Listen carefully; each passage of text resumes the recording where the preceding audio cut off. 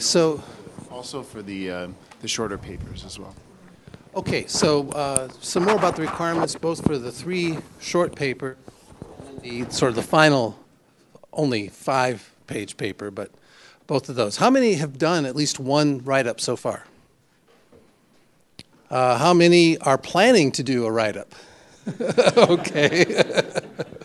um, so uh, there are slightly different rules for the two types of assignments. For the write up, I'm looking for just two pages.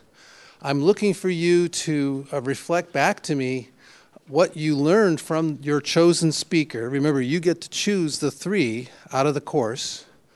Um, what you learned about open innovation from that speaker, uh, how the speaker defined the term, what was the significance of open innovation to that speaker, what did, from what your interpretation, what you heard, what were the strengths and the limitations uh, of open innovation from that?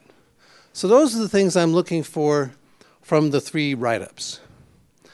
When we get to the final paper, I'm, I want you to step back from individual presenters and reflect what you've learned about open innovation over the course.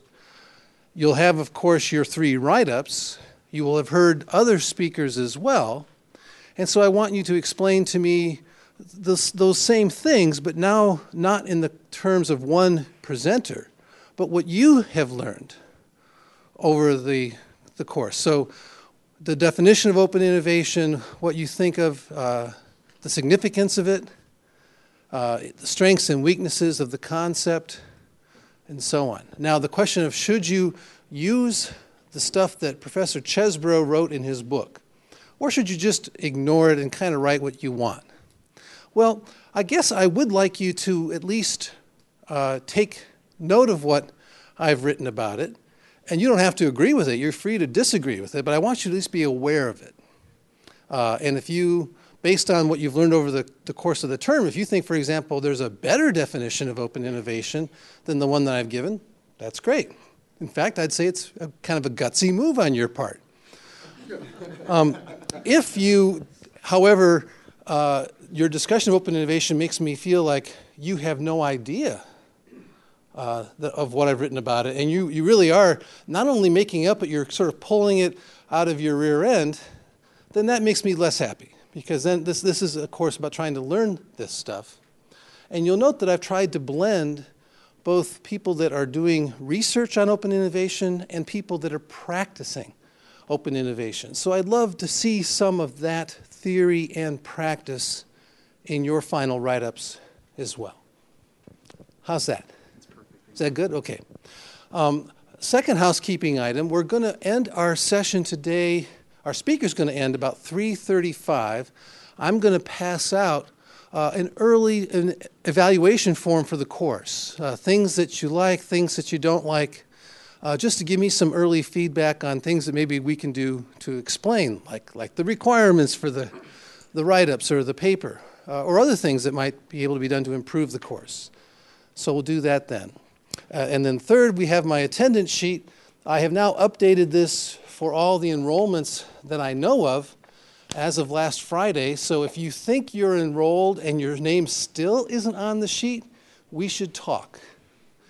Um, but uh, if you're just attending it and you're not taking it for credit, don't worry about it. But if you are intending to get credit for the course and you aren't enrolled in this page, uh, we need to figure that out.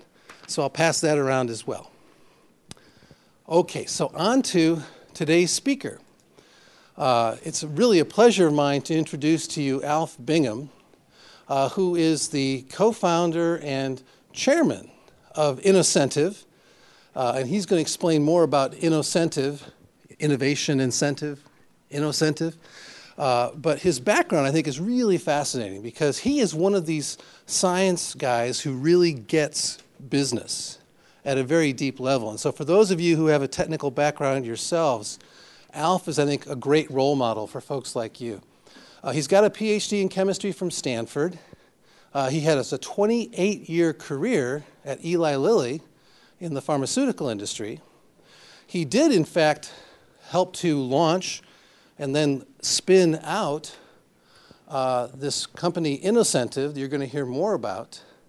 Uh, and he really is somebody who I regard as a, a great teacher to me about innovation in general. And last and certainly not least, uh, he and his uh, CEO of InnoCentive, Dwayne Spradlin, have a new book out uh, this past year on innovation uh, as well. And are we going to hear more about the book? Um, not, not a lot, not a lot. It's Open Innovation Marketplace, but. Uh, yeah, so the name of the book is the Open Innovation Marketplace. If we're not going to hear a lot about it, let me tell you just a tiny bit about it, which is uh, the idea of thinking of putting challenges out to the wider world and think of if, if you get that mechanism working well, how you could begin to work differently as an organization if you could harness and involve lots of other really smart people who aren't on your payroll tackling and solving some of your hardest problems uh, and using that as a mechanism to stimulate innovation. And so the open innovation marketplace really looks seriously at this idea of a challenge as a new way to organize innovative work. Uh, and if Alf wants to say more about that, we'll welcome that as well. So please join me in welcoming today's speaker, Alf Bingham.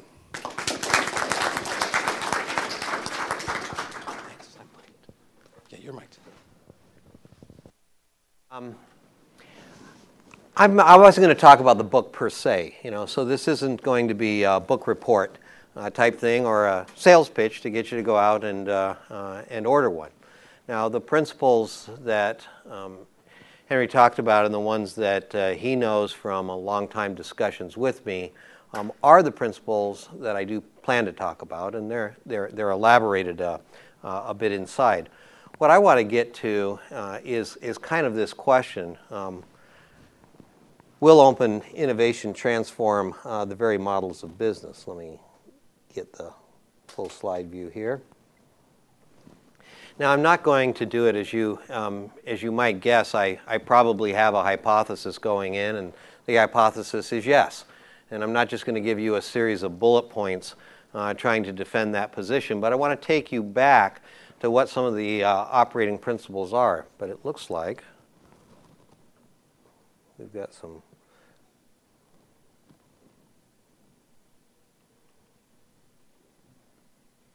Hmm. Well, it looks like it's recalculating. Now, I'm assuming that other thing's going to go away. Yeah.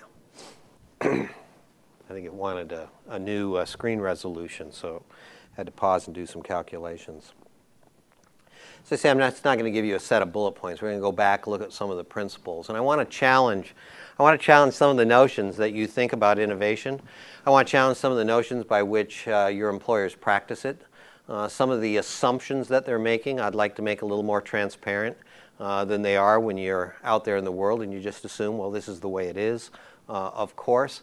And when we look at the sum effect uh, of some of, of those challenged uh, assumptions, I hope that the answer to the question will be fairly conclusive. It isn't happy. It actually came back and asked me if I wanted to reboot, so.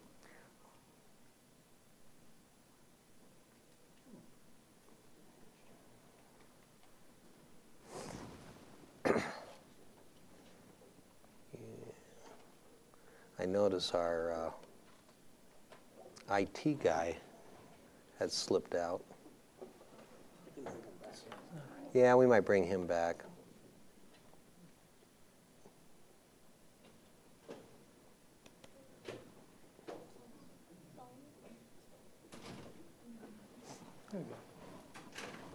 Yeah, we don't. We're not sure what uh, what it's doing here, but we might have to. Go ahead. Uh,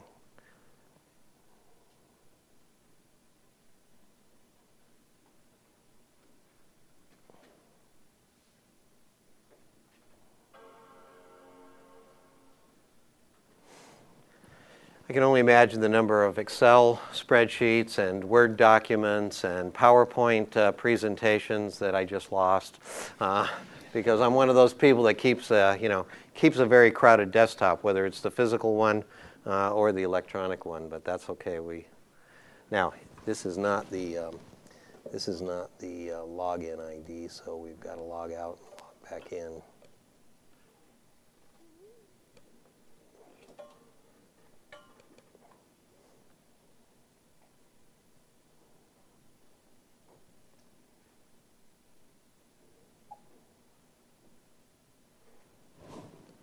Oh, okay. You've got, yeah. Or can I plug it in? Uh, you can anytime you want. It's okay with me. But it's somewhere.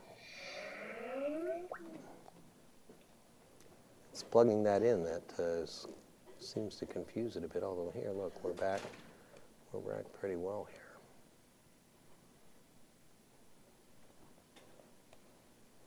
Okay. Sorry about the uh, disruption there.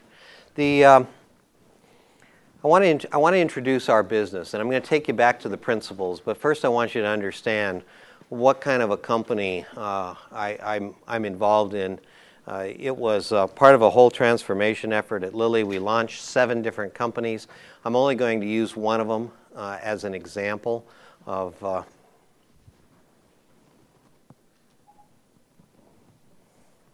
went back to do its little uh, recalculation there. It's essentially a bounty hunting company. So what we did was we, when we launched it, we said there are some problems that we work on repeatedly inside. And one of the experiences I'd had in back in my graduate student days was coming in, taking a class like this one, not this big. There were 21 students in it, and they gave us one problem a week, and we would tackle that problem, and we would come back. We'd submit the answers to the one problem we were given. We would, we would get together, they'd have been graded. We'd show up in this uh, evening class that uh, met in a, in a gazebo, a kind of uh, round table uh, conference area. And the professor would go up and write five names on the board. Now, if your name appeared on the board, it meant that out of the 21 students, you were one of the five that was going to go up, explain the way you tackled the problem, explain the answer you came to, and defend it against the criticisms of the faculty and the rest of the class. Now, they had handpicked these five in advance because they knew somewhere buried in the solution was either something so clever that they thought the other class members ought to hear about it and benefit from it, or something so stupid that they thought that that evening should turn into a cautionary tale as to why nobody would ever make a mistake like that again in the future. So you saw your name on the board and you didn't really know which end of the spectrum you were going to be on. But what I learned is that 21 smart people can have 21 different approaches to a sufficiently complex problem. And then I graduated, I took a job, I went in the lab, and problems that weren't completely unlike the ones I'd been assigned were given to me, and I was told, solve this problem. Now, they always got my best effort, but I always wondered where those other 20 solutions were. Because some nights I was up there on the board as having a very clever solution, and some nights I was up there as a cautionary tale, and lots of nights I wasn't, while others were up there with ingenious solutions. And even though I was reasonably good at my craft, I thought, you know, I don't know what the other 20 possible solutions to this problem might be. I can't think of those other 20. I don't have the experiences and the knowledge that led those other 20 students to come up with completely different approaches. And as I went through my career and I kept being handed problems, I kept saying, this is a horrible shortcoming. I, I'm giving the best solution I know how, but I know that if this problem was exposed to more minds, better solutions would come up. Then along comes this thing toward the end of my career called the internet. And the internet suddenly gave us the capability of broadcasting problems to a huge number of people. And I thought, I can find what those other 20 ideas are going to be. And so we talked with McKinsey and others about, you know, has this idea got any merit? And they, they said, oh, we could analyze this for another million dollars after the first million you've already spent. And afterward, we wouldn't really have a better idea. Why don't you launch the company and we'll see what happens. And so I'm going to give you a little bit of a report as to what happened when we launched the company. But I'm going to illustrate it by just giving you an idea of, well, what sort of problems fall into this category of they're complex enough that everybody could have a different solution. So I'm going to start off by using the Air Force Research Labs. The, the Wright Brothers Institute uh, in Ohio is one of our, our customers. And they come up with some problems I would probably have never thought to ask given my, my background. And I'll just use that as a way of getting started, and then we'll delve down into some of the principles um, that are articulated here. So here were the first uh, four challenges um, that the Wright Brothers Institute posed to us. The first one is we'd like to understand how to do remote human demographic characterization. This is not facial recognition. Facial recognition is about zeroing in um, on you and then recognizing you and pulling up your social security card and your driver's license and things about you. Demographic characterization is about taking a photograph of this entire classroom and coming back and saying, we think it's a course in business management at the Haas School at Berkeley. Okay? How is it that this combination of ethnic groups and backgrounds, genders, and everything else, uh, attention, and all of these kinds of factors would enable us to come to a conclusion about that. And I think you can see where the Defense Department might be interested in being able to read the intention of crowds um, all at once. So that was one problem um, that they, they gave to us. And just to give you a little idea, they gave us the problem on the 2nd of March last year. They said we want it solved by the, uh, by the 2nd uh, of May. We're going to give you two whole months uh, to solve this problem. We'll pay $200,000. And when I took this screenshot, and I don't know what date I took this screenshot on, 670 individuals from a large crowd had signed intellectual property agreements and said, I've got a potential answer to that. I'd like to make um, some contribution to you. I don't remember how many finally got submitted. But I just want you to get a flavor for the kinds of problems. The second one was a vehicle stopper. How can we take a, a traveling vehicle, make it stop? We don't want to damage the vehicle. We don't want to damage the occupants of the vehicle. We just want it to stop. Um, design and simulation of an accurate shooter locator. I mean, sadly enough, this is one of the real problems they have. If I'm uh, a member of uh, military or even civilian operations and uh, a bullet hits the wall beside me, uh, it's important for me or those who are protecting me to know where that bullet came from um, very quickly. And as you know, um, bullets travel faster than the speed of sound. So um, being able to respond to this uh, in some way that within the physical limitations uh, was an important part of what they were looking for. And again, you've learned how to read what those numbers are. And then the other one is that uh, a lot of what happens in times of conflict um, is an attempt to enroll non combatants um, to your side, whichever side you might be on. Um, you want to enroll the non combatants to your side. So, um, you know, if uh, you, the U.S. Uh, is involved in one of these conflicts, uh, we may be also, um, you know, realizing that this was disruptive to food and water supply, is we may also be delivering uh, food and water uh, to, to local residents during an event like this. The problem is, of course, there are many ways to disrupt uh, these airdrops and make them ineffectual, and the Air Force was looking for ways of how can we ensure uh, that the right materials get to the right people uh, in a conflict environment. So I think you can see that these are generally rich problems. They're complicated. Um, they would certainly be open to a diverse, diverse way uh, of thinking about them and uh, tackling them, and that this might be just the sort of thing uh, that where if I were to expose them to more than whoever's job it was in the Air Force to figure this out, um, I might get answers that are very worthwhile. Now, as, as I go through um, some, of these, some of these examples, I'm going to leave plenty of time at the end because I want you to, I want you to challenge um, these thoughts and I want you to disagree with me and I want you to bring, uh, bring up some, um, either supportive or counterpoints. And I'm going to make sure there's time to do that. But at the same time, if you have questions in the course of the delivery here, uh, stop. I'm happy to pause, clarify, um, or, or elaborate on things that I didn't make uh, as clearly as I should. Now, over time, this is a sampling, just a sampling. Um, we've worked with the Harvard Catalyst, that's their medicine program. We've worked with Rockefeller Foundation, NASA. You can see on here everything from uh, publishers Uh, this is the venture capital arm uh, of the CIA. Uh, this is a, a, foundation to treat Lou Gehrig's disease. Um, a couple pharmaceutical companies appear on here, some, some companies you may not recognize, which are uh, like European versions of Procter & Gamble, consumer product companies, and others. So the examples I'm going to be drawing from have been explored across, across a fairly wide spectrum, not only of commercial entities, but government agencies and, um, and not-for-profit foundations as well.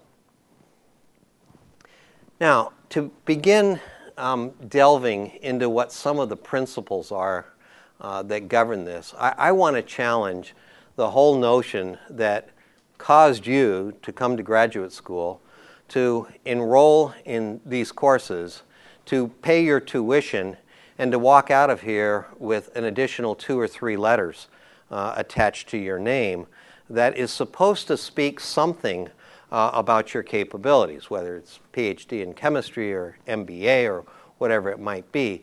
It's supposed to be a signal to the world at large of what you're uniquely capable in.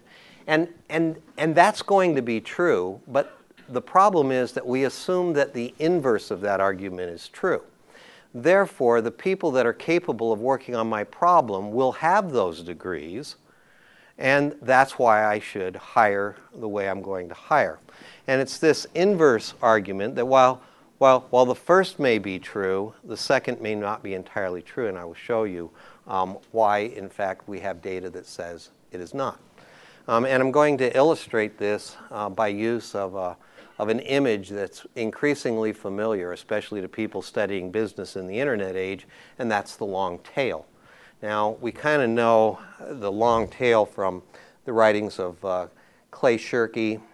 Um, I'd actually hoped I had a. Well, I'm gonna. I'm gonna. I'm gonna. I'd. I'd hoped that I'd. I'd, I'd sequence the slides uh, in such a way that the next one was going to uh, be a quote from Amazon. But I, I, will. I will start to develop what the uh, tail content is um, here in a minute. Let me apply it specifically to the area of expertise if I use as the y-axis here a measurement which is the likelihood of solving a tractable domain-appropriate problem to be posed in the future. That's a terrible definition.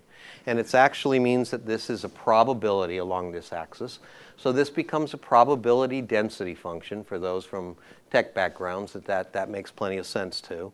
This becomes a probability density function.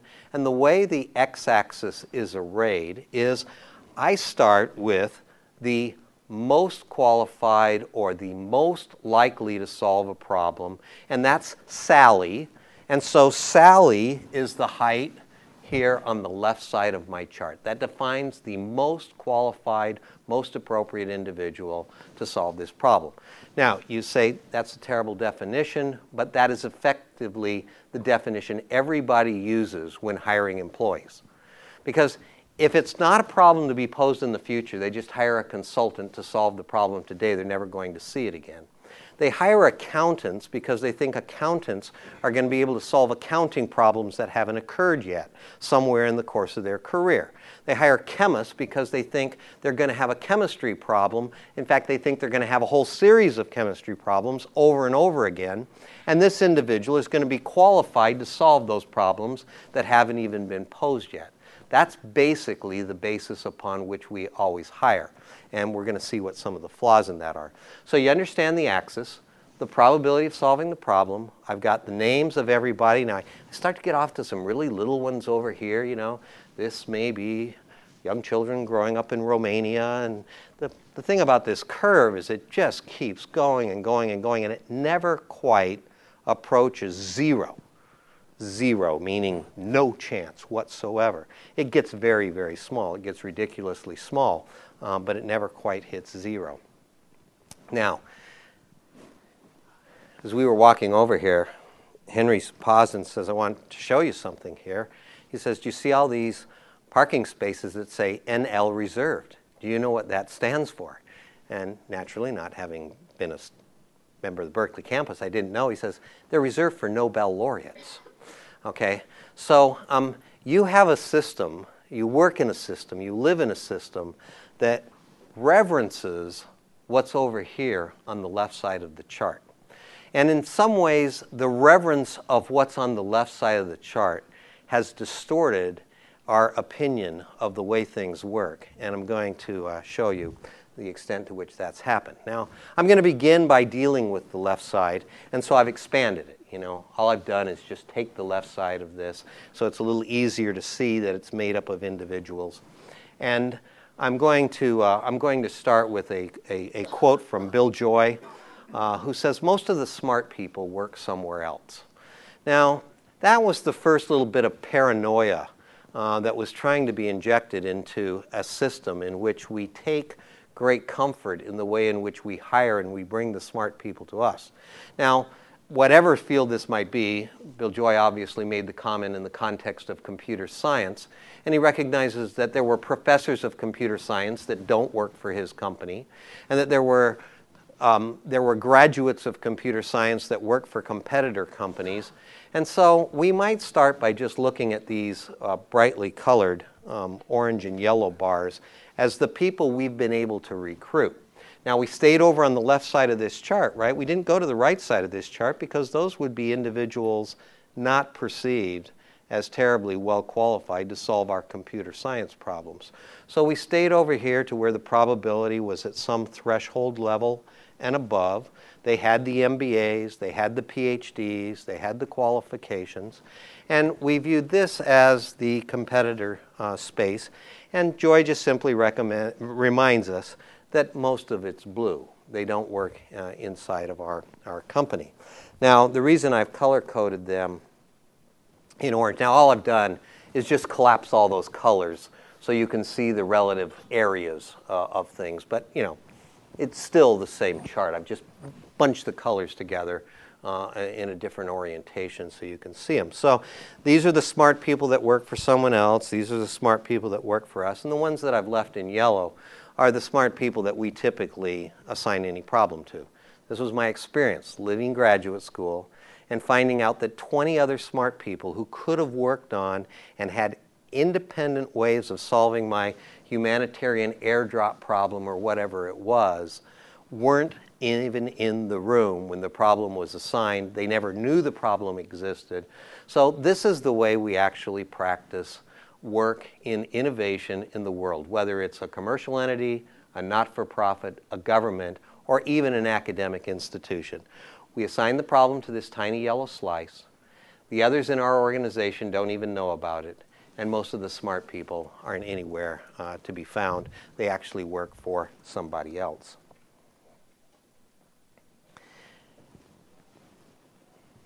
Now, before we get into this other part of the of the chart, okay?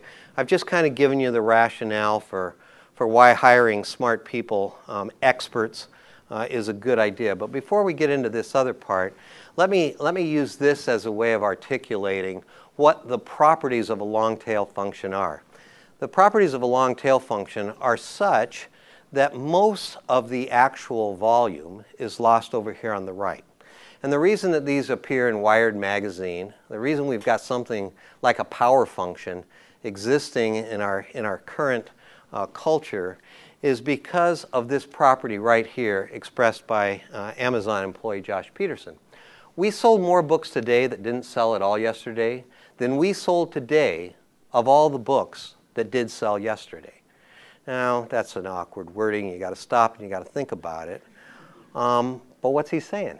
He's saying that there are books that nobody bought on Sunday, and that, and that today, or, or on Sunday, I sold more books that had never. Let's see. How does it say this again? that didn't sell at all yesterday. We're going to sell more books on Monday, of which we sold none on Sunday, than we're going to sell today that did sell some books on Sunday. You got to stop and think about how backward this is if you decide to go into business and open a book kiosk at the mall. Okay? What are you going to put on your shelves if this is a true statement about business? How could you possibly figure out what books are going to be bought that day? No, that's not how you're going to run your business, is it? what are you going to put on your shelves? You've got, I don't know, 200 linear feet uh, of shelf space or something. And it's actually what's driving you is not the books people want to buy.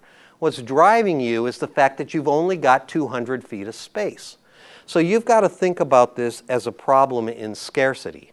How can I put on my shelf the things that are most likely to sell? So you're going to start using some rules to do this. One of the rules you're going to use is is it on the New York Times bestseller list? Because my belief is that if I've got to have a book on this shelf and it's going to use up one of the valuable two inches of space, I ought to get a book that sells a lot. And so I'm going to put New York Times bestsellers on. If Oprah Winfrey on her TV show or her network mentions any book, I'm going to go out and buy 10 copies of it and put it on 24 inches of my shelf space because that book is going to sell. But do you see that your whole business strategy is driven not by the plentifulness of books and titles, it's driven by the scarcity of shelves. And, and thinking about the world in terms of what's scarce is what leads us to exactly the same decisions we were making about who we hire to work on and solve any problem. It's why we have reserved parking spaces for Nobel laureates. Okay? Because this is about the scarcity of both the individual and the scarcity of, of space uh, that's available. Now, I said I wasn't going to spend a lot of time talking about the book, and I'm not, but I am going to give you a quote from the book. What we've learned is that distributed in a previously unsearchable crowd are insights, flashes of genius, and ideas that would never be evident on job applications, resumes, or consulting brochures. They hinge upon the uniqueness of every human experience and the chaotic way in which aha moments are distributed among persons of widely varying academic and career qualifications. Now, this is a statement about Josh Pederson and the books that Amazon sold. This is not a statement about what's the right way to run a bookstore. But when you start thinking about business, you can view your business as a scarcity of capital, a scarcity of roles and positions, employee slots in the company, or you can view it as the plenty of available resources um, that are all around the world. Now, how that translates into the image we were looking at before is now I've stopped focusing only on the left side of this curve. And while the height here is so low that it says any one of these individuals marked off here in green has a far less probability of solving my problem than a Nobel laureate or a Stanford PhD or a Berkeley MBA or whatever else it is that I'm using as my metric of qualification. While the probability of any one solving that problem is very low, the cumulative probability that the problem will be solved by somebody in that category is much greater, okay? Because if I were to expose a problem to the world as a whole and allow anyone to solve it, then these would have an equal shot as these. Now, another reason, there's, there's two more reasons, two more ways of thinking about, nah, he can't be right. And if he is, we should have taken that into account and all kinds of, you know, free market forces should have, should have caused this distribution. But one of the ways to think about why I'm what I'm telling you is true and yet it's not the way we've evolved, in, in addition to this scarcity plenty argument, is, is a statement that was made by the author of Guys and Dolls. Um, what's his name? Hmm, I didn't put it on one of the slides. I'm going to get his name um, later. Um, but you've probably seen or know, know at least about um, the Broadway play, the movie Guys and Dolls. It's about betting. Uh, and so it, it is actually a statement on placing bets. Um, Damon Runyon, that's who it was. What Damon Runyon said is the race is not always to the swift, nor the victory to the strong, but that is how you bet. Now, it's this whole notion that when you're hiring someone, you're betting. And you're betting on them coming in and being a part of your organization and making a contribution. You know what? You should be hiring over here on this side of the curve.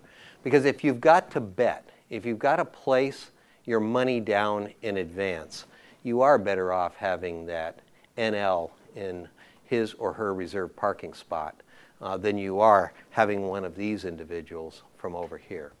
So the fact that we've evolved that way really does say something um, logically uh, about why we did so. But if I'm right, and this green area is larger than the volume of this blue and orange area, then that means that whenever I post a problem, something, and I told you before this was a probability density distribution, and those of you who are used to thinking about that realize that what I'm going to do is I'm going to go out and I'm going to sample it. In other words, the person that solves the problem is going to be picked from this whole area, not based on how high the Y value is, but from this whole area. And if the green is really more voluminous than the blue and the orange and the yellow, then that means that there will be a more likelihood that when problems are posted, worked on by others, that it's somebody who was not, in our definition, qualified to have solved it. I can tell you, I'll, I'll, I'll spoil the punchline right now. About 95% of the time.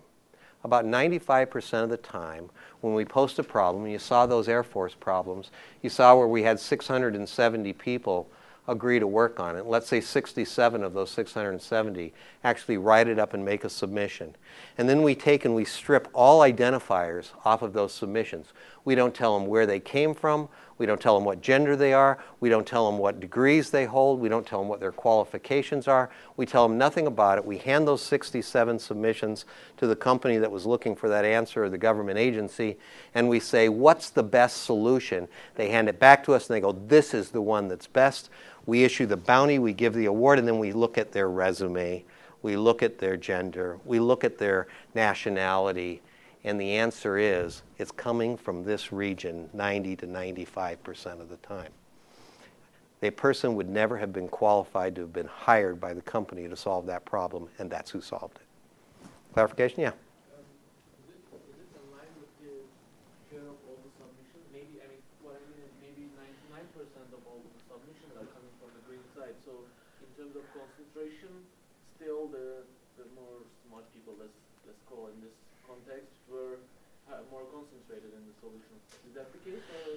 It's always going to be true because, because um, what you're asking about is the ratio of having been 1 versus the length of the x-axis here, which you'll notice that most of the submissions will come from this region.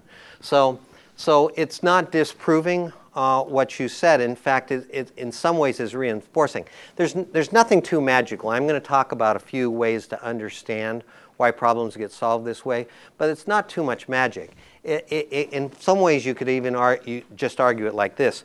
The reason the problem comes from an, the solution comes from an unqualified individual is because there are just so damn many more unqualified individuals than there are qualified individuals. Okay? But the problem is that because we, we built companies and institutions on these laws of scarcity around expertise, on the number of seats we had, desks, whatever, whatever your argument by the number of potential salaries we could pay in a given week. Because we built them on the logic of scarcity, it turns out what we discovered was that the region which has the most potential cumulatively for solving the problem has never been utilized. Yeah. No.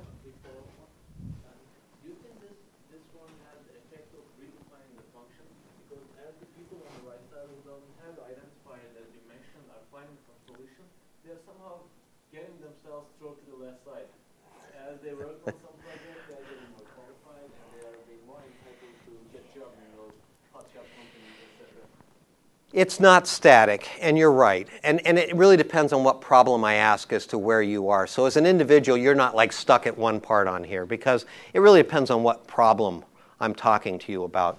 You, you as an individual are here sometimes, and quite honestly, you're here sometimes, okay? And so the individuals aren't, aren't locked down uh, to any one place. And even on the problem of note, they're moving.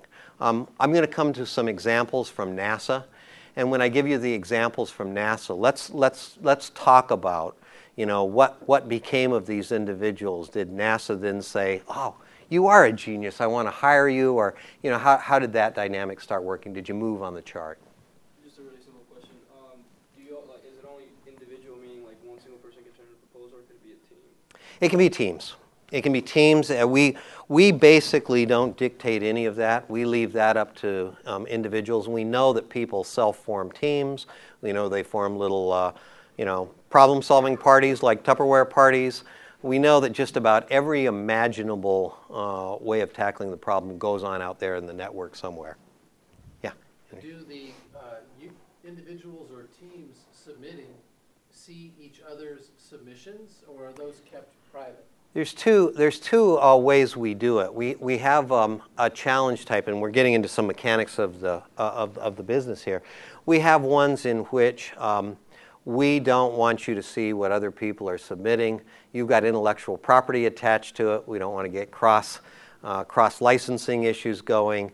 And so we run it like in a very hub and spoke model. Now, at the end of a spoke, there might be a team. It's not necessarily an individual, but we manage it in a hub and spoke model.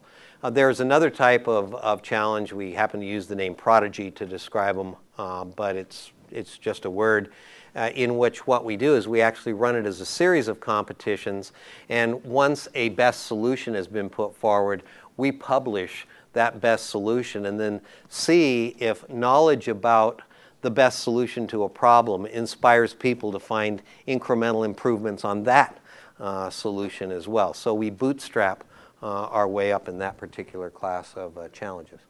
Yes?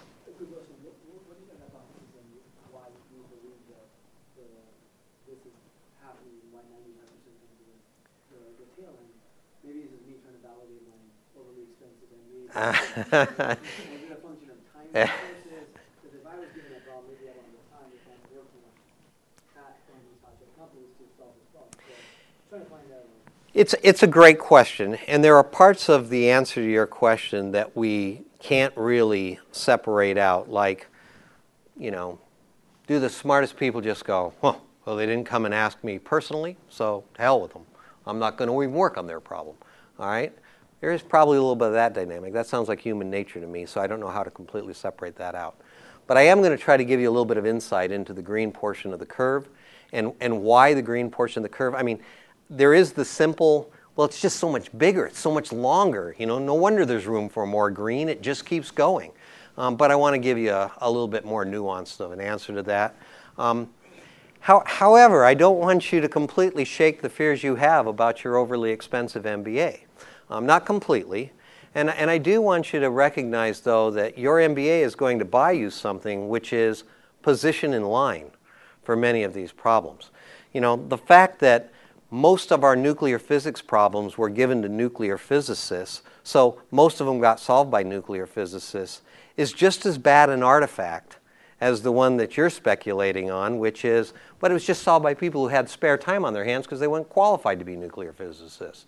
So, you know, keep in mind that the existing system has got some of the same counter arguments that maybe it's just because of where people earn themselves the place in line uh, and not truly uh, their innate skill in this. So I, I want to talk about what I call the three itties, which is where does the solving power come from in a crowd? And I want to talk about heterogeneity, marginality, and serendipity um, as the three specific itties for, for why crowds appear to be smart. Now, this is actually one of the um, this is actually one of the NASA challenges, and I got to tell you, when we post a challenge from NASA, we use their name. When we post a challenge from Procter and Gamble, we don't tell people it's a challenge from Procter and Gamble. It's one of the ways of maintaining confidentiality for Procter and Gamble, so their competitors don't know what they're working on. But also, we're not sure that putting Procter and Gamble is going to motivate somebody to go, "Wow, I'd love to solve a problem for Procter and Gamble." However, when we post a challenge for NASA, believe me, there are people that come out of the woodwork and go, I get to work on a problem from NASA. That's so cool. I wanted to be an astronaut ever since I was six. You know, and they will tackle these problems. Plus, not only does NASA pay $20,000, they give you a VIP invitation to a space launch uh, if you win. No way to put money on that. Priceless, as they say. So, so this is an example of a NASA challenge, but these are where the uh, solvers uh, engaged from. Okay, we call the, the community out there individually as solvers. This is where the solvers engage from. Now, I don't know what NASA's consulting, contracting strategy is, but I can virtually guarantee that there are dots on this map where they are not looking for people to work on the kinds of problems that NASA has. And yet, this is what happened when we just opened it up um, to the world as a whole, where people self selected and said, I have a contribution uh, to make to NASA. So, this, this, the sheer heterogeneity of this means that you're going to get viewpoints on solving a problem that you cannot have and you cannot afford an internal corporate strategy to try to go out um, and tackle the world in this fashion. You've got to actually build an attractor and let the world come to you. There's no push mechanism that gets you this level of heterogeneity. The second principle is marginality. And um, I've got a quote here from a colleague I work with quite a bit at uh, Harvard Business School, Karim Lakhani, um, who in some private conversation was actually talking about this paper by McLaughlin called optimal marginality. If you just think about the juxtaposition of those two words, optimal marginality, you can see this is not going to be a completely intuitive concept. It talks about innovation and orthodoxy in Fromm's revision of psychoanalysis. So he's working in the, in the field of sociology and psychology as he begins to formulate these notions around how does marginality contribute. And as Karim said, because individuals become socialized to the norms and beliefs of their fields and organizations, remaining at the margins while keeping up to date and actively pursuing access to resources offers those marginalized a different set of perspectives and heuristics than those at the core of the professional establishment. And this comes down to you can't teach anybody how to do something without also teaching them how not to do it. If you roll in, enroll in a PhD program, um, particle physics, at Berkeley, they're going to teach you how to do particle physics. And you're not going to stop and realize it, but they're also telling you how not to do it. Because all the ways that are different from the ways they're teaching you are the ways they're saying not to do it. And so, being strongly socialized inside of your field is also a way of learning what not to do. And look, you know history, you know um, the theories of Thomas Kuhn, you know that major breakthroughs almost always come when put forward by those who were not socialized into the institution of their fields or their organizations. And so, this notion of marginality, the people in the green are living in margins. Um, Karim is actually pursuing an interesting hypothesis as well, which is we recognize that in society, not all classes of people are equally socialized. There are some classes of society that tend to get marginalized because of our very culture. Certain ethnic groups can be more readily marginalized. Women versus men, especially in the world of innovation, commercial innovation, can be somewhat marginalized. Karim's made the observation that while women may be more reluctant to submit a solution to a challenge, they're more likely to win if they do their ideas come, and so he's, he's trying to tie together whether the entire sociology of marginalization and the performance of people in these large crowd oriented systems um, actually uh, correlate. And the third one is, is, serendipity. And in order to illustrate uh, serendipity, uh, I want to go back and uh, retell uh, a story that is sort of the prototypic example of serendipity. It's the, it's the example that was used by your uh, technology or your science teachers, your, your uh, innovation classes, uh, uh anything you've ever done on creativity, and that's the story of Archimedes. So, somebody in the classroom remember the story of Archimedes? What did Archimedes come up with? I know he came up with that inclined plane and screw thing. Um, but he came up with another law that's actually called the Archimedean principle. Yeah.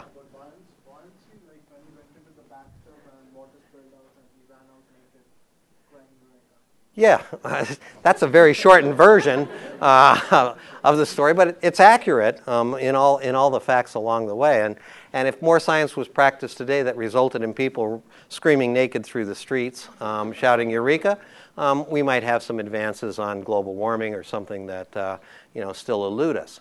The, a, a little more detailed uh, version uh, of the story, which ends the same way, is that Hero, um, H I E R O, who, who actually carried a business card that said Tyrant of Syracuse, because tyrant in those days was actually a governmental title uh, that you could have given if you had certain amounts of uh, absolute power. Um, he was the tyrant of Syracuse, and he had a crown made. And, he, and, the, and the way he had the crown made is he took gold to an artisan, and he said, you know, form, form this into a crown for me. He gets the crown back, and he's thinking, oh, that's good, good, nice looking crown. I like this. And uh, then he gets thinking, oh, I wonder if that artisan ripped me off. You know, I gave him 24 ounces of gold. He takes the crown off and he weighs it.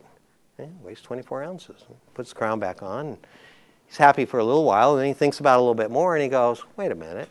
You know, we know this thing called alloys, where you could take away part of the gold, replace it with lead. It'd still look a lot like gold, except half my gold is sitting under the artist's mattress, and half of it has come back to me as a crown uh, diluted with lead. And so he also was knowledgeable enough to know that the density would be different.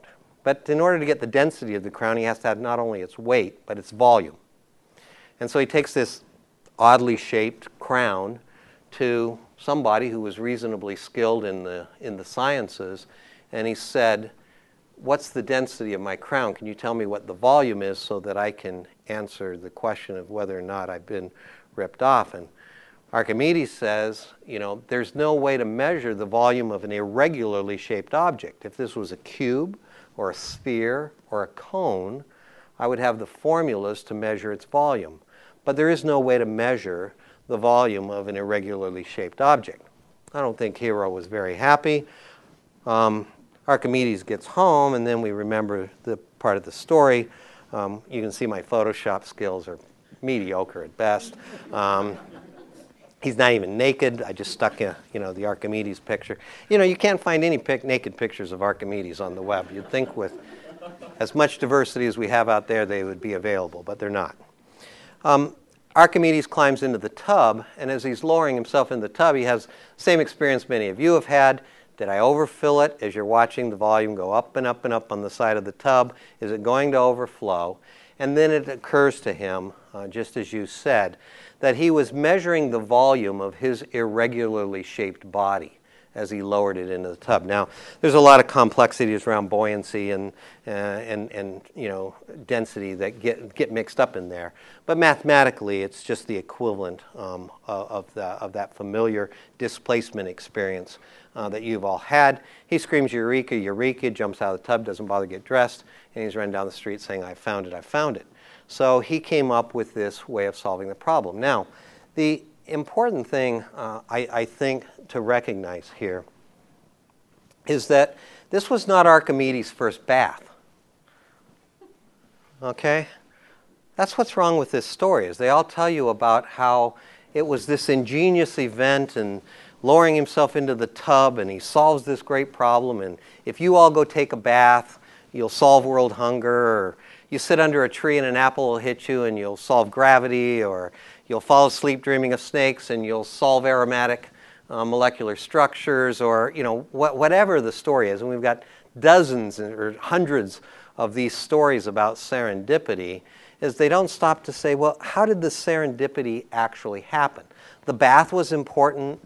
The, the basic skill and training was important, but so was the challenge. So was the fact that Hero brought this to him.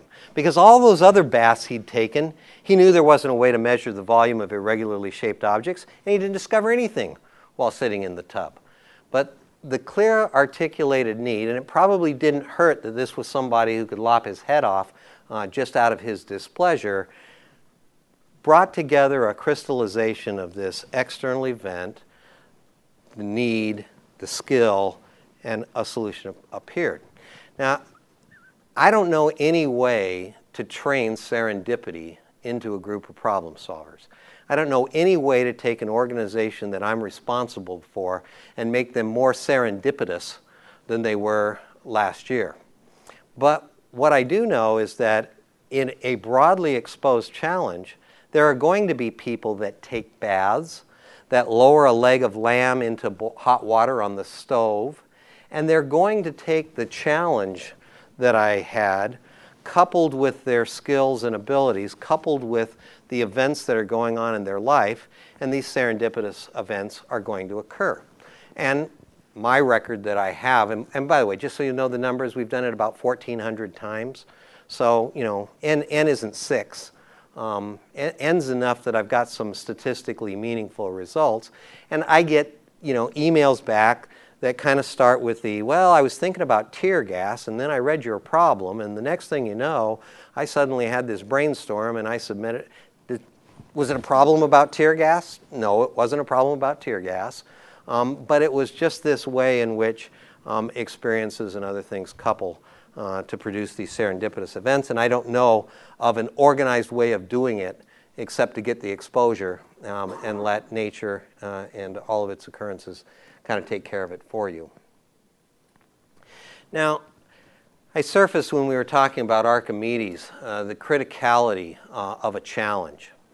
And we didn't appreciate this when we began. Remember, we began with nothing more than uh, kind of a, a, graduate school experience. We're those other 20 people uh, that ought to make a, a, reasonable contribution to this problem.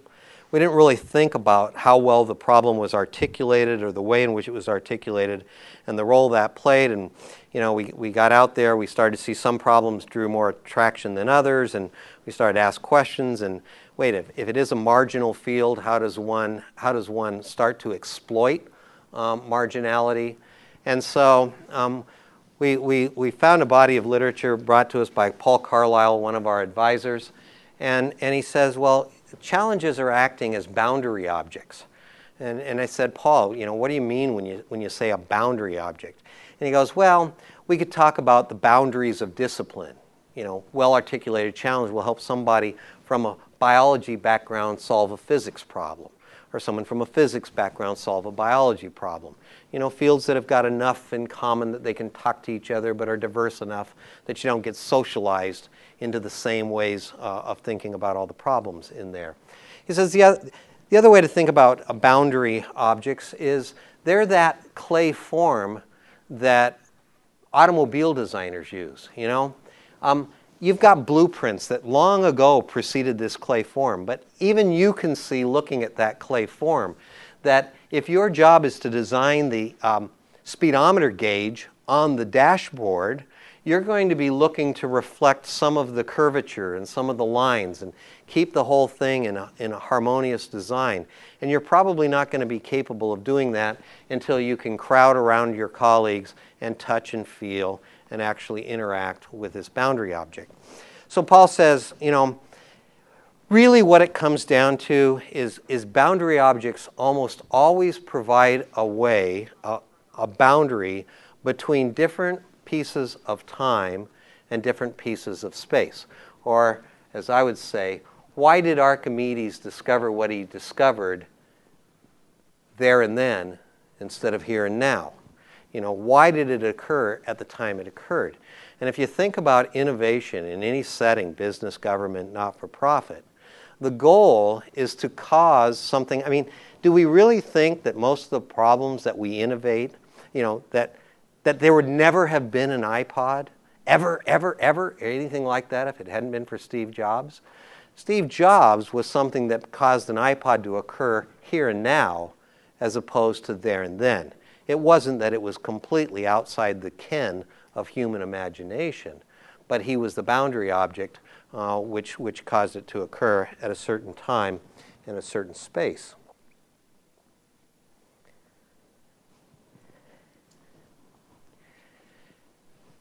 In addition, um, and this gets back to some of the comments uh, raised at the beginning about transforming uh, business, in addition to becoming a fundamental basis of problem solving, this here, here, now, there, and then argument, challenges also become a way of distributing inventive work.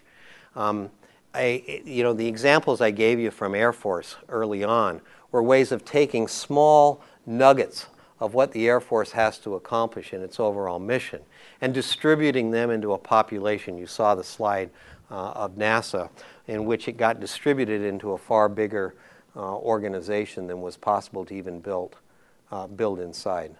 I think we've kind of covered that. So I want to I want to jump to some examples from NASA, kind of under the title "It Really Is Rocket Science." NASA's problems, and I'm not going to go through them in any in any detail. Keeping food fresh in space, the coordination of sensor swarms, forecasting of solar events.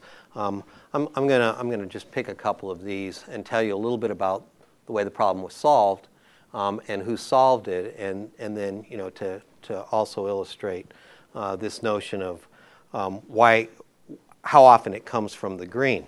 So NASA has actually worked on the data forecasting or the data-driven forecasting of solar events. You know, we've just recently had a fairly major bit of solar weather, right? Um, responsible for a great increase in the northern lights, lousy cell phone coverage, uh, a few other things. If we'd had astronauts uh, up extravehicular in space, um, added hazard and risk and danger to them. Um, so these, uh, these solar events are something that NASA has worried about for 30 years.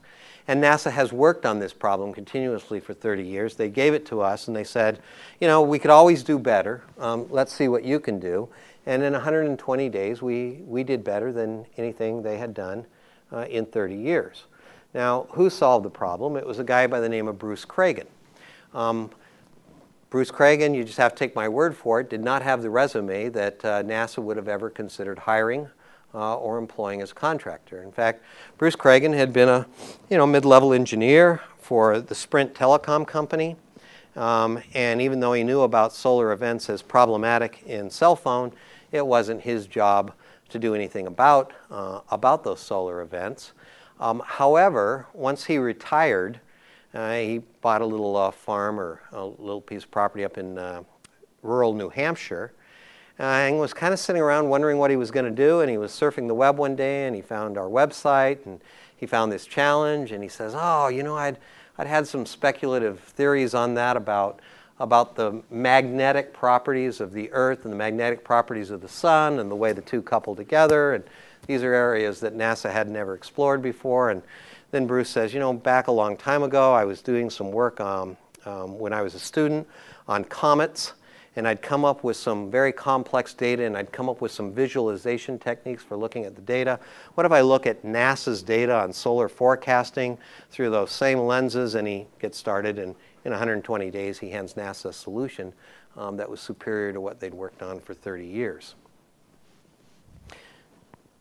For which he took home the princely sum of $30,000. Um, The other example is uh, how do you exercise in space? Um, the, uh, you, you, don't, you don't stop and realize no matter how much you've invested in exercise equipment or how much the gym that you attend has invested in exercise equipment, it all stops working if you take gravity away. You know, nature is supplying for free the most crucial component of your exercise program. Not even your treadmill is any good if you take gravity away. Um, and certainly that weight set, uh, 135 pounds hanging off the end of the barbells, uh, doesn't really mean anything uh, without gravity. And so, how do they exercise in space uh, in zero gravity? That's actually one of the huge problems. Um, and the solution was uh, Alex, who uh, was born in Leningrad, had moved to Massachusetts. Um, and he says, you know, if you're an outsider, you can suggest new ways of looking at things without feeling crazy. This freedom allowed me to develop a novel solution from a challenge description that was so well written and clearly defined. I mean, I mean, it sounds like we fed him this quote and said, Alex, would you make this quote uh, to back up all the points we want to make? Uh, but that really wasn't the case. Um, and, and I won't go into uh, um, his tension band um, type, type solutions. Now, that was the same picture I showed, and I, I told you at the time that this was NASA um, challenge in tapping the world. Um, yes?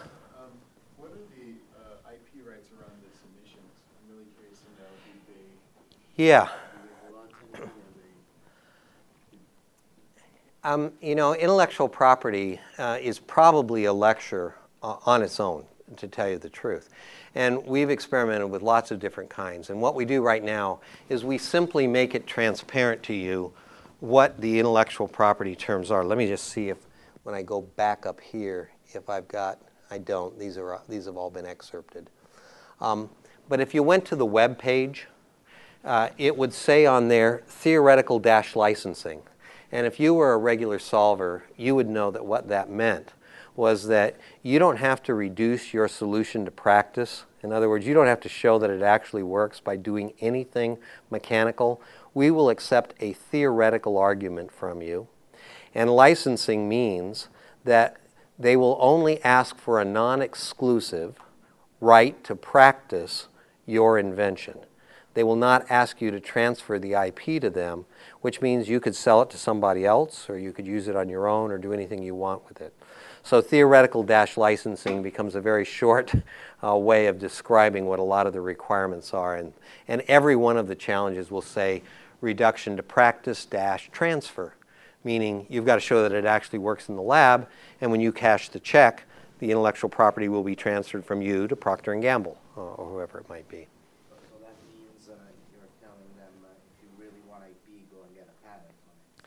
You're, you're, you're basically telling you're telling them a few things. You're telling them that if they come up with a solution and they don't feel, I, we, we, we give people the right to unilaterally um, remove themselves at any time up until they've cashed the check.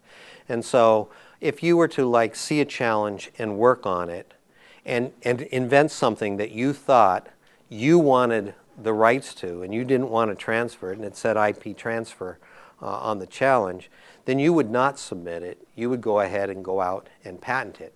Now, if you could only have made the invention by reading confidentially disclosed material at the detailed level of the challenge, you may not be able to practice your invention because it may infringe on that, uh, on that material. But on the other hand, you would have the right at any step to unilaterally separate yourself from the kinds of agreements uh, that you've made and pursue any other course you wanted. Um, I actually thought that was going to be a major issue when we launched the company, but it turns out that it has happened like maybe once or twice in the 1400 examples. Um, and, and usually it's because to, to practice um, or to pursue intellectual property on your own is an expensive proposition. There's going to be a transaction cost. There's going to be a risk associated with it.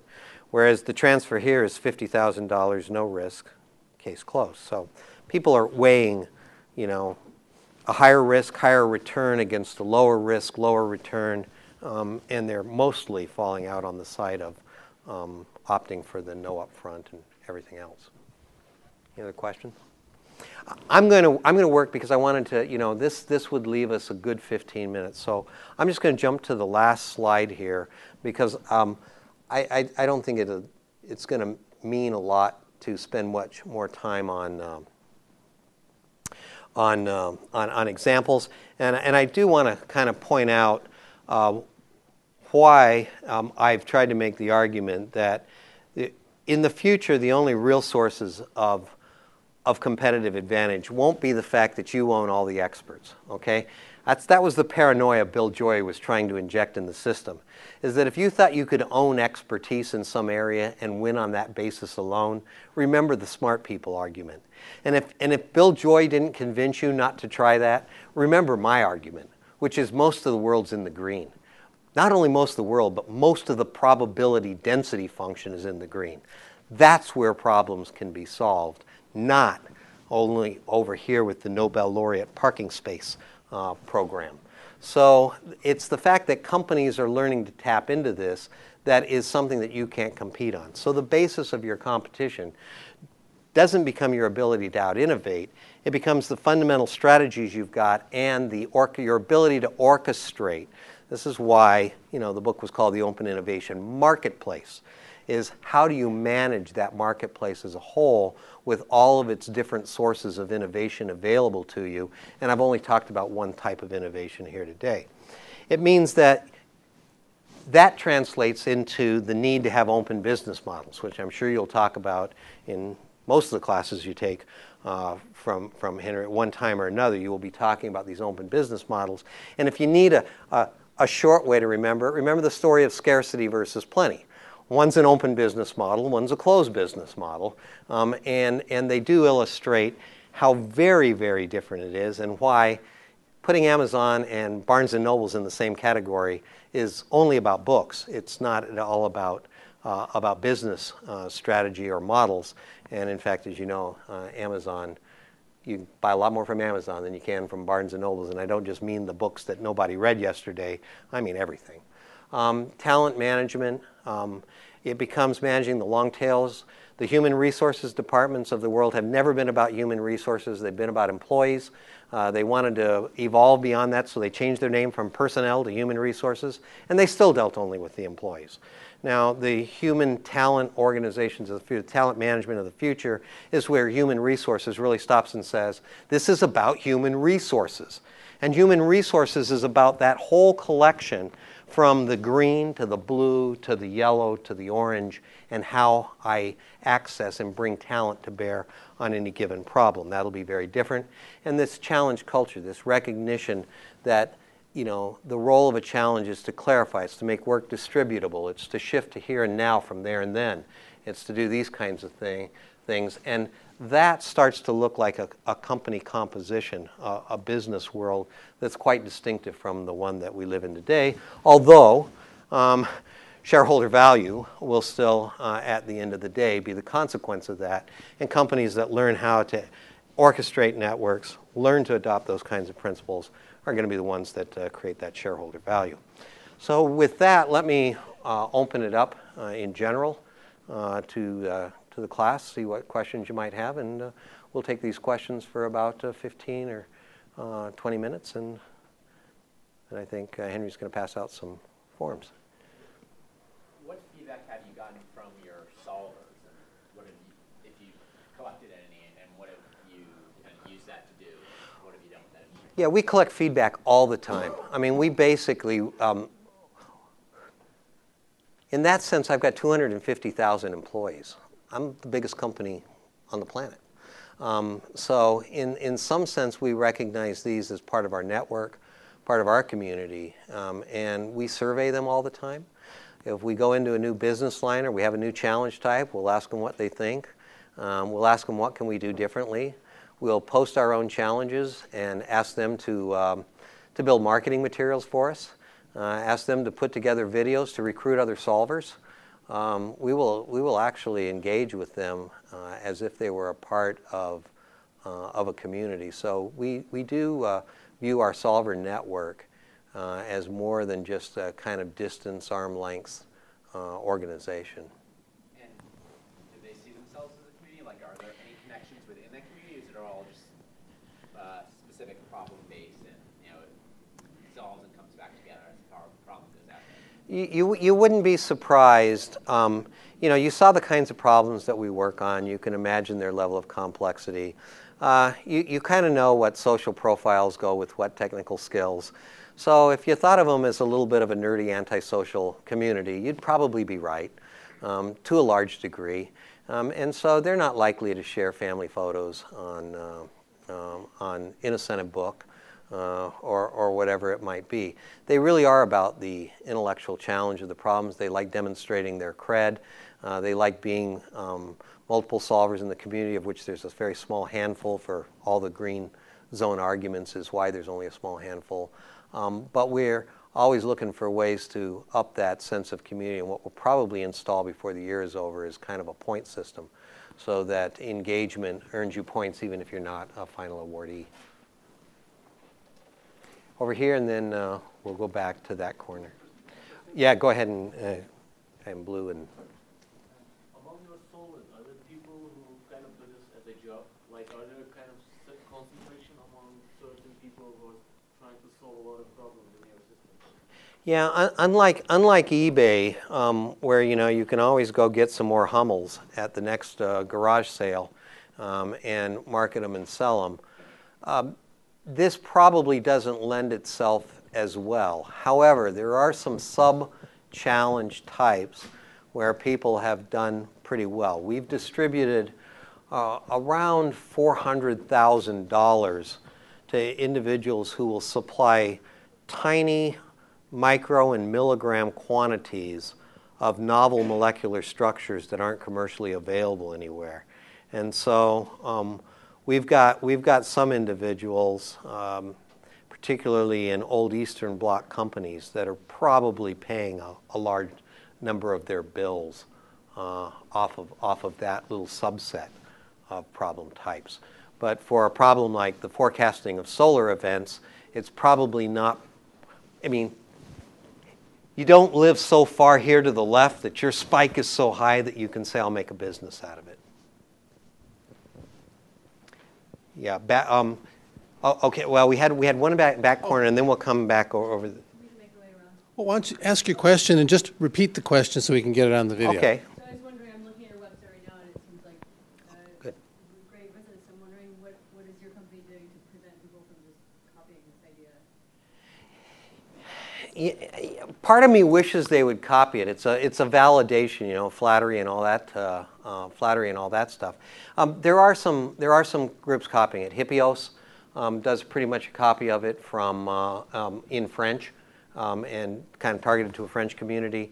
Uh, there are some other uh, language specific copies. Idea Connection basically takes our problems and then tries to um, promulgate promote them in a in a um, a much more heavily managed community and environment. So not only do they copy our idea, sometimes they'll even copy our challenges. And then what will happen is someone from Idea Connection will become the solver, and then they'll funnel it back to the Idea Connection site. So, so it, you know, we've got, um, you know, we've got uh, prior art, uh, we've got uh, patent applications. You know, we've, we've done the usual. Um, but on the other hand, it, it, turns out that having a large network, being able to articulate a problem clearly, um, and I didn't spend a lot, of, I spent a lot of time talking about the value of a good challenge, but I didn't tell you what some of the, the tricks were that we would be teaching you um, as a customer for how to do that. Uh, those are harder for them to replicate um, and having a, a dedicated community. And of course, we're fighting back by saying, hey, you know, if you don't want to use us, we'll still post. You can see right there on the site if you went to the Challenge Center, you'll see it says external challenges. So if Netflix doesn't want to work with us and offer a prize out there, uh, we'll point our solvers to it because at the end of the day, that's a way of serving them is giving them uh, one-stop shopping, one-stop shopping for um, problem solving. Here and then we'll. Hi. Um, do you do anything as somebody who might participate in one of those competitions, I always think, especially if these are very complicated problems, do I want to spend 300 hours on my own of volunteer time and not know what I could get back? Especially if it's a good answer, but somebody's is a little bit better or is chosen. Um, I don't know what you could do, but do you have any tricks to deal with that motivation issue? Yeah. So, so you just um, put your finger right on the on the on the reason why after I gave McKinsey a million dollars, they said we can't tell you the answer, is because they had, they had no way of knowing whether people would go at risk. Why should you go at risk when normally the, comp- the company's employees aren't at risk? They know they're going to get their paycheck whether they solve the problem or not. They may not keep their job for a long time, but they at least know that they're de risked for that 300 hours of work uh, that's coming up immediately. So understanding the motivations was, uh, was a huge trick uh, to figuring out how to, how to make this happen. And it's, it's about um, the intellectual challenge of it. Uh, it's about getting um, recognition on our site as the one who solved the problem. It's about Bruce Cragin being the subject of, of some business case uh, business cases and you know uh, a little bit of notoriety, although he's not really a fame-seeking uh, kind of an individual. He just wanted to solve that problem. I mean, that's all there was to it. And if it took him 300 hours, uh, he was ready to go to work and do it. And if he didn't solve it, um, the 300 hours were time he would have considered as well spent as uh, golfing. So we spend a lot of time looking at what the motivation factors are. All I can say is that we were wrong when we assumed what the motivators would be. What happened was when we got into a large population, we found there are more motivations than you can even imagine for why people will do this. And you just got to look at um, each of them. But it's usually some type of intrinsic reward system uh, that gets them to make that commitment. Um, yes. Have you seen any gray market? Um, yeah, for example, like if Samsung posts any problem and you know employee at Apple they see a challenge and they actually solve and deliver to Apple or You mean you mean well? There's a couple Like- ways gray markets Yeah, could occur. or like if for example like BMW posts you know any problem and then any participant see that and they solve and then they deliver to Mercedes. Okay, yes. So, so, so we,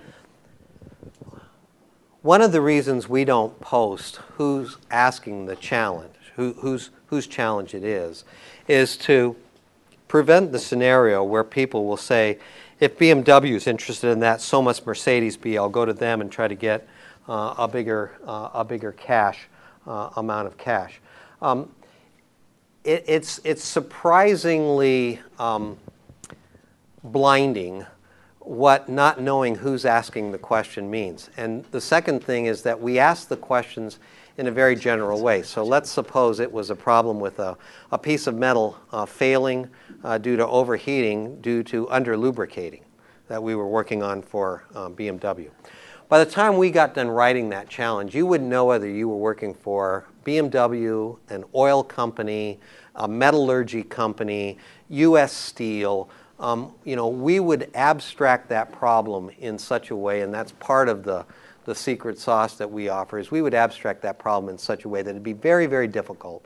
Um, we haven't seen it, but we think because we take some active steps to prevent making that attractive, financially attractive, uh, to, to gray market um, strategists. Yeah, I had a quick question. You said that uh, NASA, the seven projects, seven of them were completed, but Yeah. what is the overall success rate? And so uh, I'm just trying to understand what, how do people feel when a project is not accepted and what happens to the incentives? It seems like they could be misaligned at that point. It's about 40%. Um, now, in some sub-problem types, like the ideation challenge, we actually make it 100%. Because we say, if all you're looking for is a global brainstorming session and people are offering you top-of-mind solutions, you know, you don't have to attach $50,000 bounties to them, we'll accept 5000 but you know what? You pay it out to the person who had the best idea, not necessarily to somebody that met criteria A through F. And so in some cases, we force it to 100%. The 40% was before we even did any of those. So the number's creeping up. But it's creeping up because of throwing into the mix uh, some 100% type things. 40% is still, you know, you saw the complexity of the problems. Believe me, 40% is a pretty good de-risking. And in fact, if a company worked on, on, on 10, it means they would pay out on four. And by paying out on four instead of having to pay people for working on all 10, of which they might solve three and they might solve five if they were internal employees, you still get an economically attractive advantage to using this channel uh, versus employees. So, Alf, another part of that question would be for any given challenge, there might be five, ten, or more people competing to solve the problem. Yes, So, you're saying 40% of the challenges are solved, yes. uh, but the odds of any individual solver getting paid would be one fifth or tenth or whatever of the 40%. Right. That's, that's Okay. right. And, and um, so, so again, you know, you have to recognize the motivation goes back to intrinsic, not, not just to, to winning.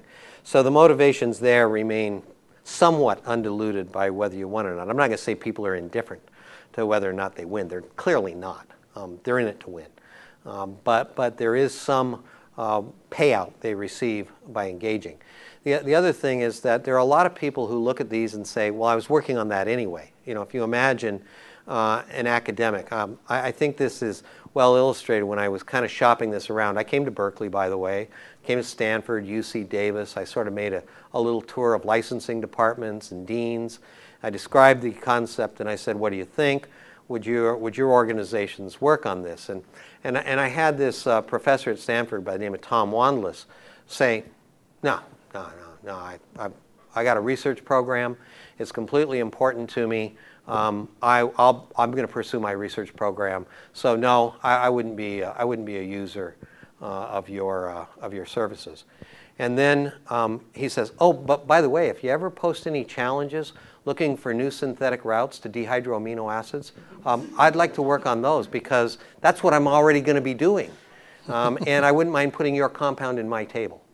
So then I realized, well, wait a minute. That's all I need is I just need to get this to enough minds that they're going to say, well, I was going to do this anyway, and it sort of starts to uh, address the uh, address the whole motivation issue. I think we're uh, running out of time, but before we lose this slide, one of the things I wanted to just use as a method of closure, this notion of scarcity versus plenty. When Alf was first developing this idea, he was at Eli Lilly. Big company, lots of problems, and lots of problems that hadn't yet been solved.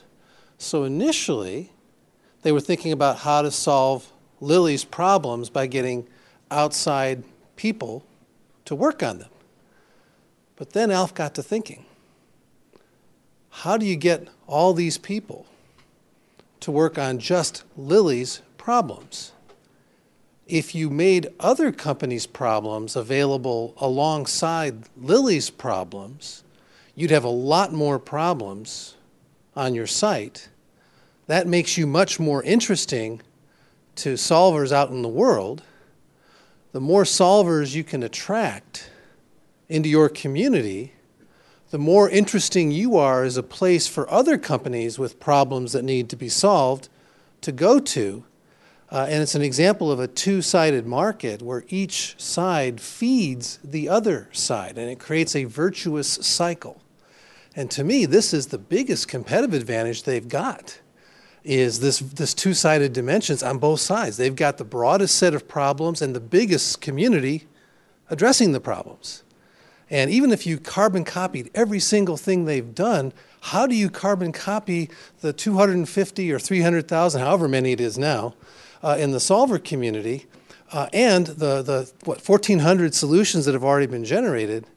Uh, somebody else trying to do that from scratch has to compete with something they didn't have to compete with. Nobody else was doing this at the time that they created this. Now there are others out there doing it, so it's going to be even harder to get such a community going now. So to me, that's the biggest IP that they've got. It's Please why, join. Why are there no competitors to eBay, or not substantial ones? Yeah. You know, it's because the world's actually better off with one eBay. I know where I can go to look for stuff. I know where I can go to sell stuff. And and so you know another thing to think about in your open business models is the number of these things that can become natural monopolies, not monopolies through control principles and destruction of yeah, not monopolies through scarcity, but monopolies through monopolies plenty. through plenty. Yeah. In fact, uh, John Lechleiter, who Alf has already introduced to you as the CEO of Lilly, told me about this company, InnoCentive, that this company could be the eBay of science. So, interesting note to, to end on. Please join me in thanking our speaker.